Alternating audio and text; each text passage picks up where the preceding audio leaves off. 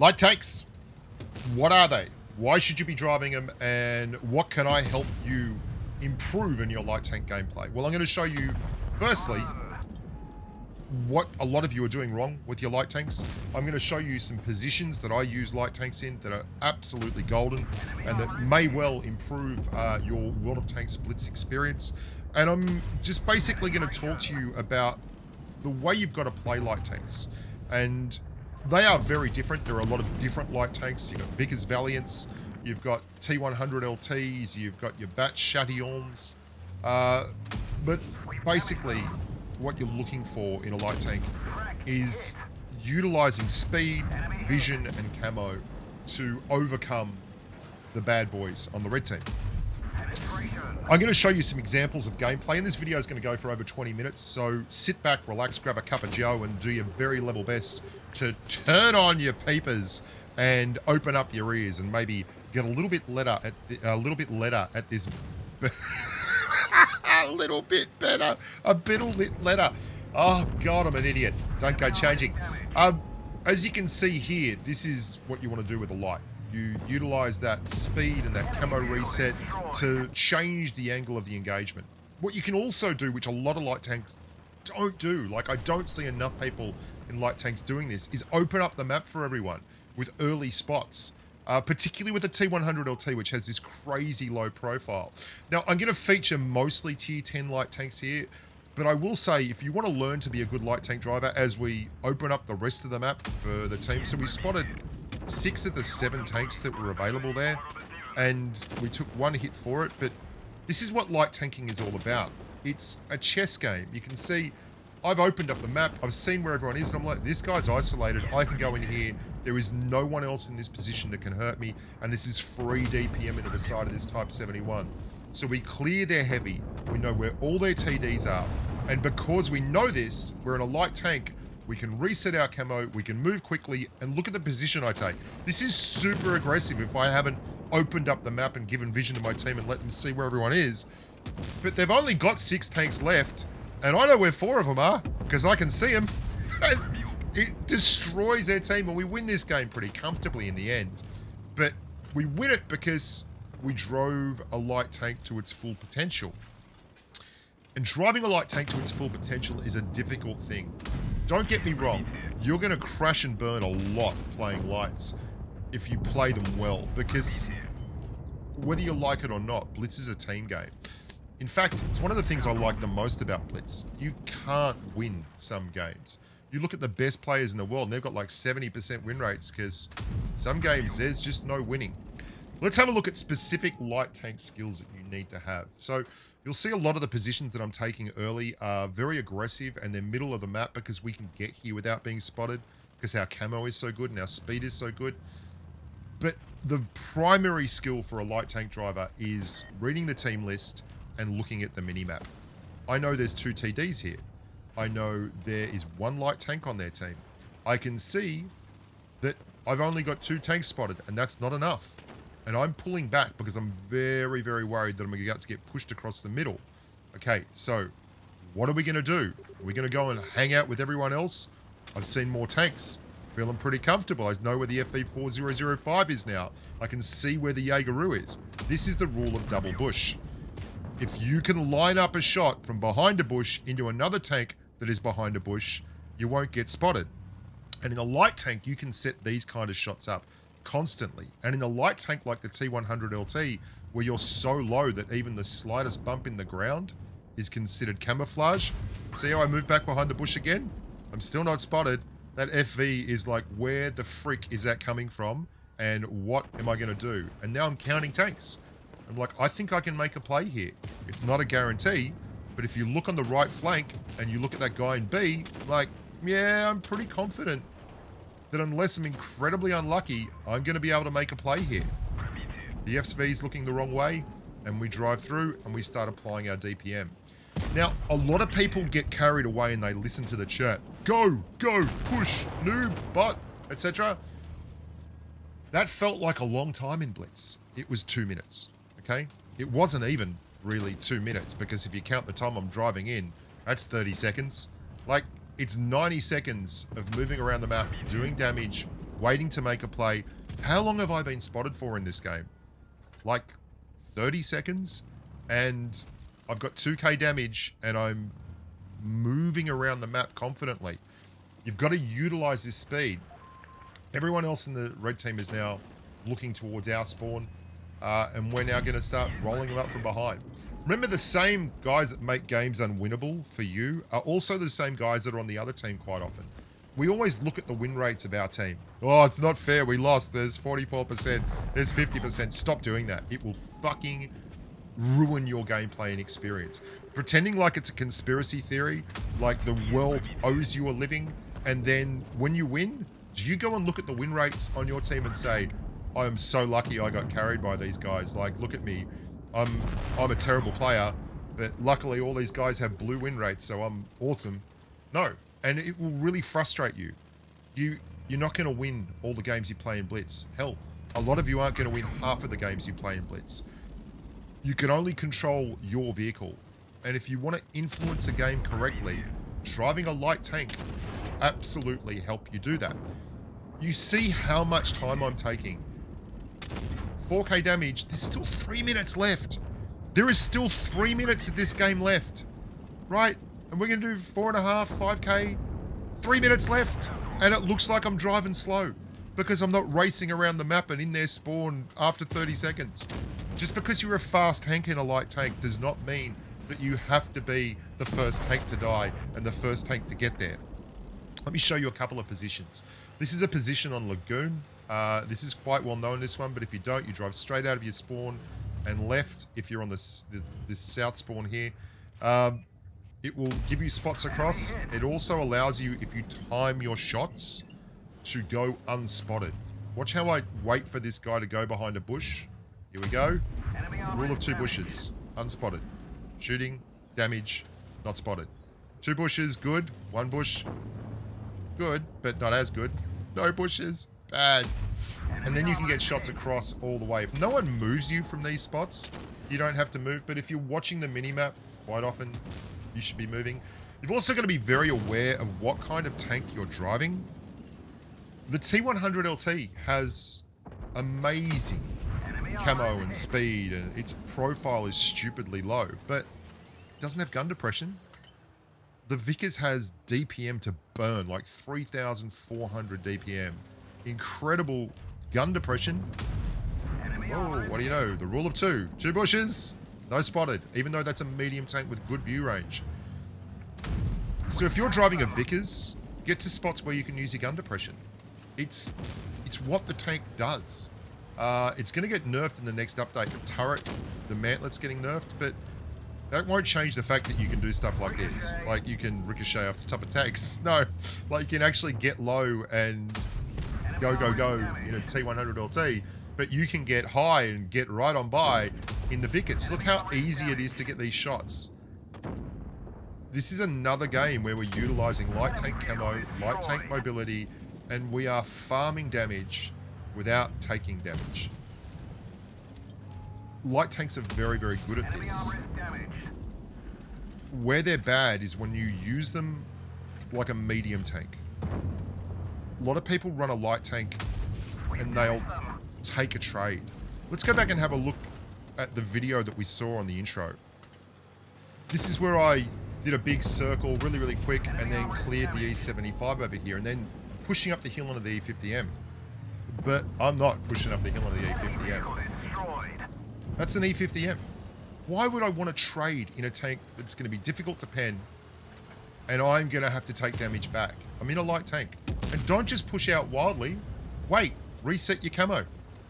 And then make your move. Because this is what light tanking is about. Light tanking is about moving to positions where you can put your gun in the game, right? And oh, someone's just saying Bushka. And I'm like, yeah, that's me. Um, no way. It, it is a way. Look at how I'm not spotted until I fire. And then I run into something. Great. I mean, that, that's what I do. Um, this is why you've got to be very aware of the fact that every time you reset your camo, you're going to get like a free shot at anyone that's over 150, 200 meters away. Because they can't freaking see you because you're a light tank. So we angle up to the next target. We get lucky there. We shouldn't have bounced it, but we were angled for it. We changed our turret around, and then we just roll around the back, and we're looking for the Grille, basically. We know the Grille's going to be around here somewhere. He's probably going to be in the TD spot. Game's won. We're just farming damage now. Don't go and make trades unless you absolutely have to. And if you do have to go and make trades, save your hit points. This is another great spot I use on Molendijk. Uh, there's a spotting position that's very cool low on the other side, but this is a great one. Knocking down trees and then jumping inside trees is a much, much ignored art of light tank driving. I do this all over the place on all kinds of maps. You can create spots where you can put a light tank in cover, in open, and just farm up spotting damage. It's brilliant. This is the other light tank standard spot on Molendijk. I'm going to showcase this for you because this is really the essence of running like a T100 LT. Um, you're looking for spots. You're looking to put damage in. Here we go. And then you're basically killing the enemy team because they've got the spotting mechanic on the T100 LT. So if you pen them, they've got 20 seconds of being spotted, which is torture. They're and look, you've got to remember it's an easy trick when you are running this tank or any light tank. You've got 10 seconds from when you fire eh, or when you're spotted to when you go unspotted once you pull behind hard cover. So you've got six seconds on your reload, 5.9. You've got four seconds on top of that. That's 10 seconds. So just count to four. 1,000, well, when it reloads, obviously. 1,000, 2,000, 3,000, 4,000. Forward. Pull back. Let the gun count down. 1,000, 2,000, 3,000, 4,000. Drive forward. We're going to shoot the 183 who's waiting for us, which is pretty funny. Just making sure I'm letting people know where he is. I'm going to shoot him. Drives TDs berserk. Drives them absolutely mad.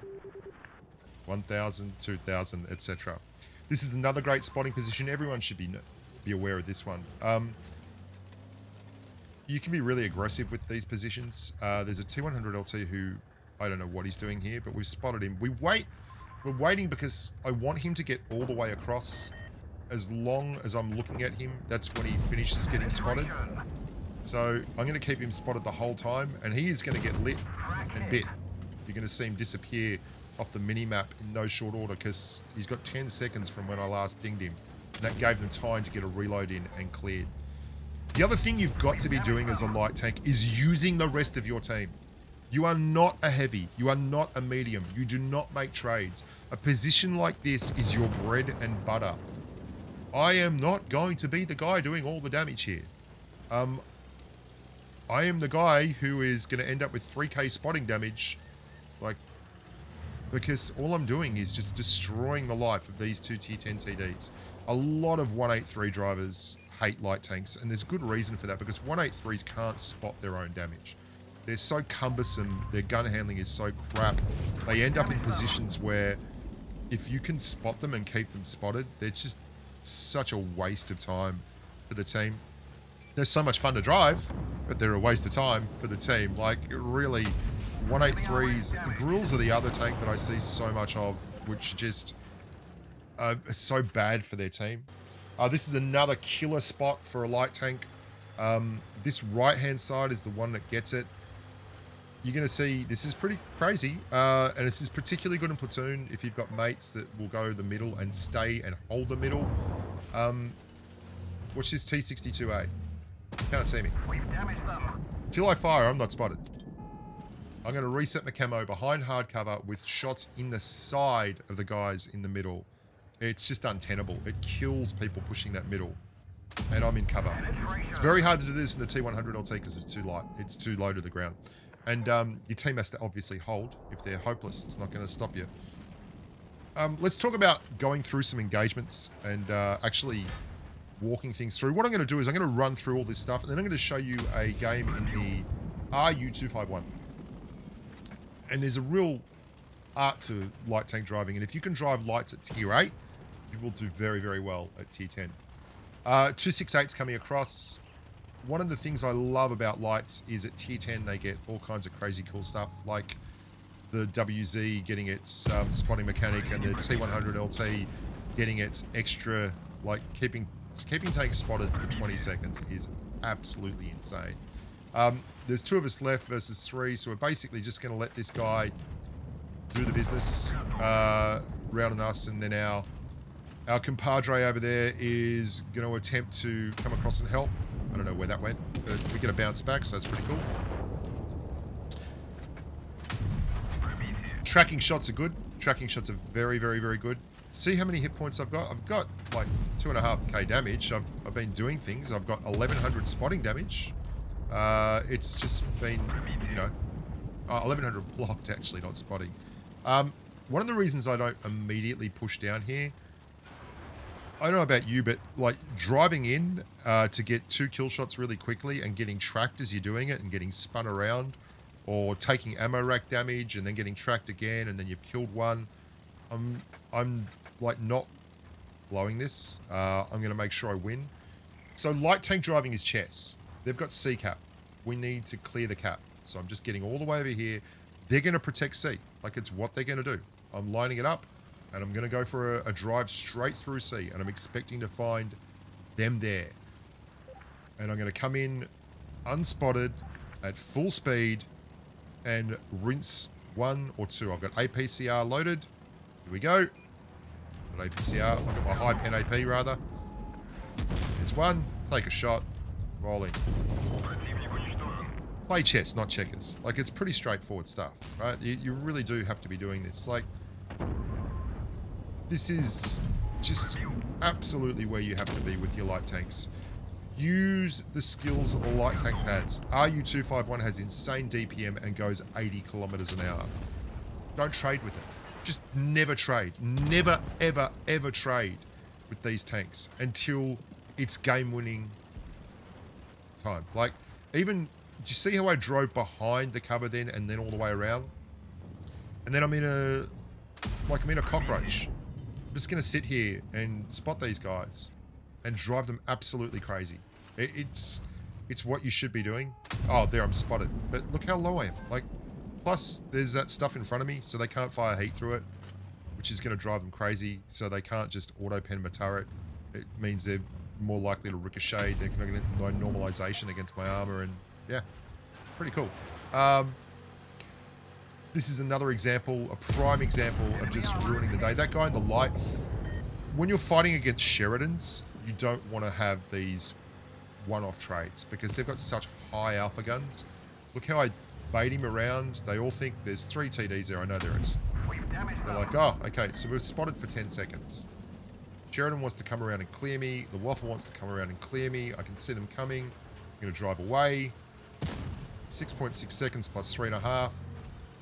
And we roll back to exactly where we were. Go behind the bush. Enemy armor is damaged. Thank you. Thank you very much. Ruined his day. Absolutely killed it. We've damaged them. And we're expecting the Sheridan to turn up. Doesn't disappoint. Enemy armor is hit. Everything else is dead. So we're happy to go forward and make a trade, but we don't want to die, even though it's not going to really affect the outcome of the game. Just put one in there and start backing away, and he's going to come. You know he's going to come. You know he's going to come. He's running his adrenaline rush. He's like, oh, I've got this is my chance. Vehicle is destroyed. You've got to start playing like this in a light tank. If you don't play like this in a light tank, you're wasting your time. They are the most fun, most engaging tanks in the game.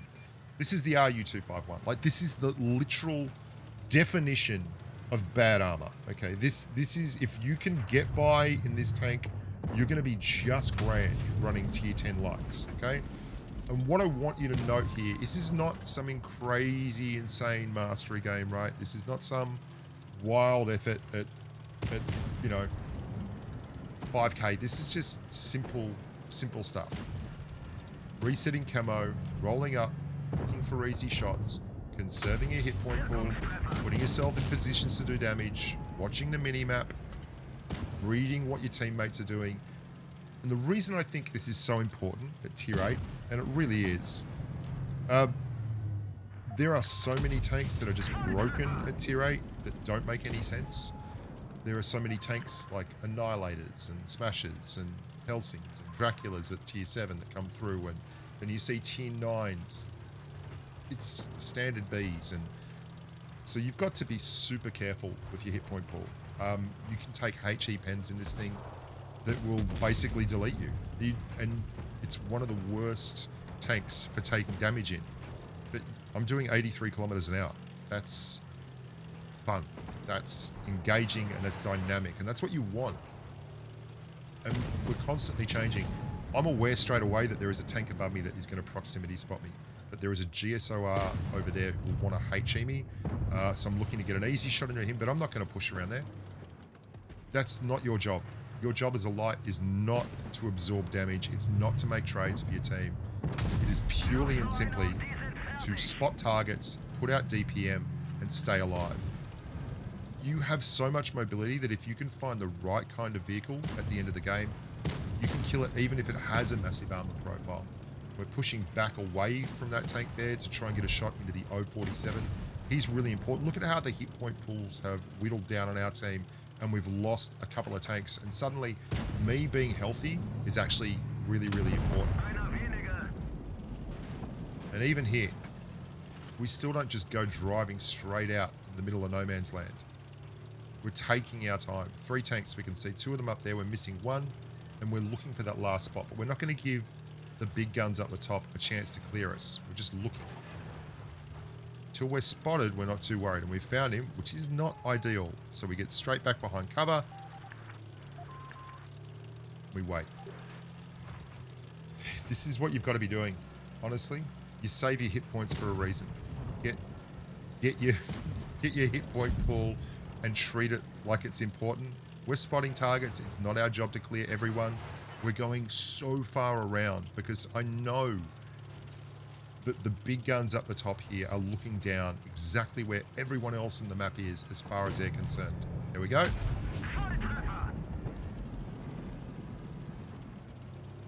Now, I didn't realize I was running speed boost instead of adrenaline rush. I wasn't sure what the Chi-C was doing, so I kept coming because I didn't want to get stuck between the two of them. But I figured there was a chance to clear here anyway. Very worried about that smasher coming around that corner. Gonna keep rolling, just gonna leave him alone, keep on going. Take one. So that's one hit there. Get round the back here. And again, we've totally isolated this guy compared to the other two guys up the top. And we didn't clear that guy, but this is why you save your hit point pool. You save your hit point pool for things like this because you're a tank that has 2800 DPM. This tank has 2800 DPM tier 8. And it can do 80 kilometers an hour. And it is so fragile. But if you can get it to work for you, you can then run around at tier 10 in a T100 LT, or a Vickers, or a Batchat, or a WZ, or a Sheridan, and play this playstyle of constant movement. Like, we're going to do probably as many clicks in terms of total distance as the rest of the team combined in this game. We have not stopped driving. We have not stopped moving. It's it's a whole playstyle that you have to embrace and you have to be willing to be a little bit patient. And I always find it funny in Blitz that people are so impatient. People yell and scream in the chat like to go, to go, to go. They're wrong. They're nearly always wrong. Don't listen to them. Don't do anything that isn't, you know. Oh, he was waiting. We were waiting too. Um, I'm Bushka. Thank you so much for watching. If you like this video, leave a like uh, and a comment. Subscribe to the channel. Uh, and we'll be making more like it. Why not leave an idea as to what you want to see next downstairs in the comments. We'll see how we go. Until next time, stay safe on the battlefield. Bye for now.